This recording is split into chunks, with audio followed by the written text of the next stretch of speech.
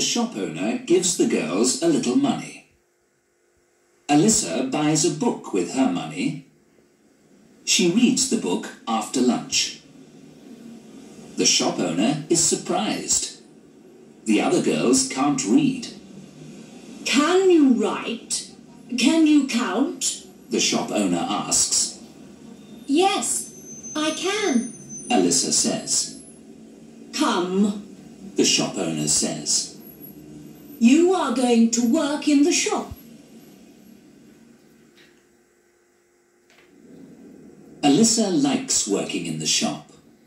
She serves the customers. The customers are rich ladies.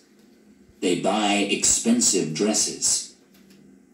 One of the customers is a tall and pretty lady. She always smiles at Alissa.